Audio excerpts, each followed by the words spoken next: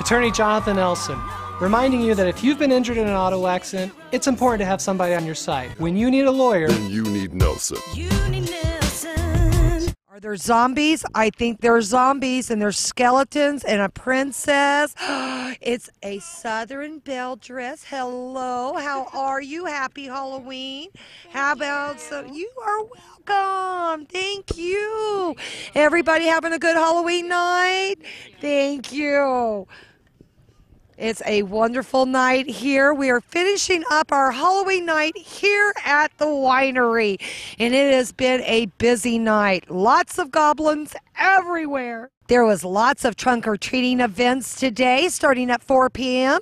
One of them was at Petrack Park with the Castaways Car Club. Local residents joined in the fun by bringing their own cars and their own candy to hand out to all the ghoulies and goblins.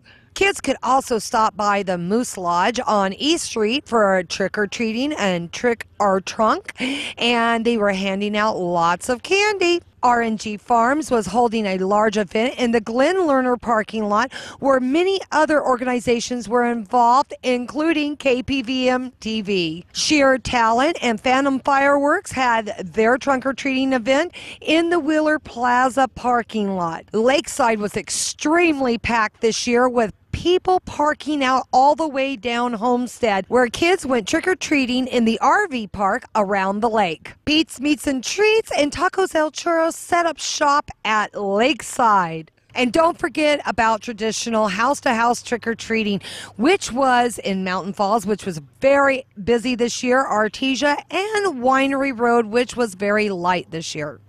I would like to thank the Nye County Sheriff's Office and the Nye County Search and Rescue for their traffic control and keeping our streets and our trick or treaters safe all night long. Well, this is Alicia here otherwise known as the corner candy lady. I've been hanging out with the trick or treaters here on the corner of Burgundy and Rose.